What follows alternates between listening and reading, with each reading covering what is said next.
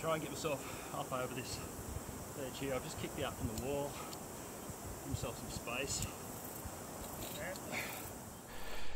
Yeah, g'day Canyoners. Welcome to another Workshop Wednesday. The last couple of weeks over on the Australian Canyoners group, we've all been practicing our ascending. Lots of people sending in videos of them ascending up to the rafters in their kitchen, their, their lounge room, uh, their sheds, trees out the back, whatever. Ascending up, switching over to descent and, and heading back down. It's been really good to see. Generated a lot of discussion on tips, techniques, and all that sort of thing. I think we all got something out of it. But as someone rightly pointed out, we're missing out on the hardest bit going over the top or going over a ledge from an overhanging stance. So I thought I'd come out, uh, get out of the shed, come up to the backyard and um, just uh, see what we can do. Couldn't find too many videos on uh, YouTube or anything like that explaining how to do it. So um, give you a couple of little tips. What I tend to do, this one is a pretty easy little ledge to go over because I've got a, a foothold um, just under me. If that's not the case, we might have to do something a little bit more drastic, but pretending I haven't got my foothold here, I'm coming up to the top, going to get my foot as high as I can, and then work my way up. Now at this stage, getting that to go past the ledge is really difficult. If I can just get a little purchase on the rock there, I might be able to just push out and up just enough to get that over.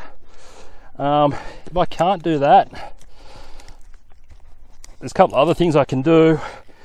Um, I can actually just grab the rope up here and mantle up as I was, I was rock climbing. I try and get uh, my foot loop as high as possible. I might even shorten that up, get my foot right up, reach up and just mantle up.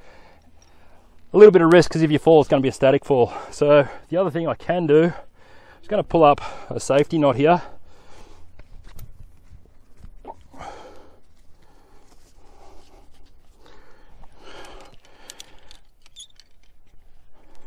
I'm just going to tie that in here. I'm going to take my foot ascender off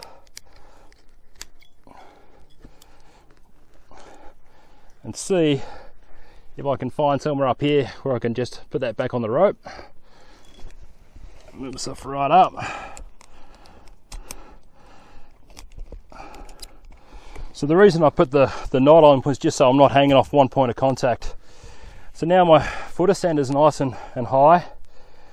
I can stand up into that loop and then my weight's not on this bit. So as I pull myself up, I should be able to move over the top of the loop, over the top of the edge, get myself as high as I can, sit back down into it, move my foot up a little bit further, and just continue on up. And then I've scaled the ledge. And uh, yeah, that's probably how I'd get over a ledge like that. Hopefully you got something out of that. Continue practicing. The more people are uploading videos on this type of stuff, even if it's not ascending, it's some other sort of technique, generates discussion. It's really, really good. Been loving it the last couple of weeks, so hope to catch you out there. Stay safe and catch you later.